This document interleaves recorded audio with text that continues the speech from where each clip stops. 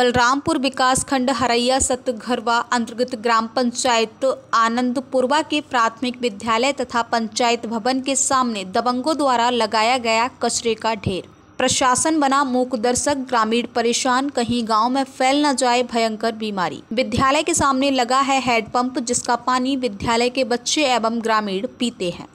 Handpump के आसपास फैली गंदगी और रास्तों की बदहाली को लेकर चर्चा में है। गाँव संकीर्ण गलियों से होकर जाना पड़ता है। पानी की निकासी नहीं होने के कारण करीब पाँच वर्षों से यहाँ कीचड़ और गंदगी के अंबार लगे हैं। गंदगी को लेकर कई बार शिकायत की, लेकिन कोई फ़ायदा नहीं हुआ। अधिकारी प्रधान के पास आते हैं, मौका स्थिति को नहीं देखा जाता, शिकायत पर कभी बजट तो कभी प्रस्ताव आदि की रिपोर्ट लगाकर निस्तारण की स्थिति कर दी जाती है। गंदगी से अब लोग परेशान हैं। उच्च अधिकारियों को इससे अवगत ग्रामीणों ने करा रखा है। अब क्या कारण? इसे हम लोग प्रधान से कई मरतबा कहे हैं कि हम लोग को कहीं पंचायत करना होता है तो हम लोग किसी के द्वारे पे जाते हैं गाँव में ढूंढ के जगह। लेकिन आज तक प्रधान ने इसको सुना नहीं ना तो साफ़ सफ़ाई ना तो प्लास्टर हुआ ना तो गंदगी यहाँ से हटी आज तक। कई बार प्रधान से कहा गया था।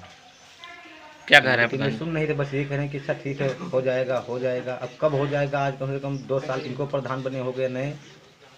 बीस साल बने होगा या अधूरे अधूरा अधूरे अधूरा आज तक ये रहेगा पंचायत भवन हमारा।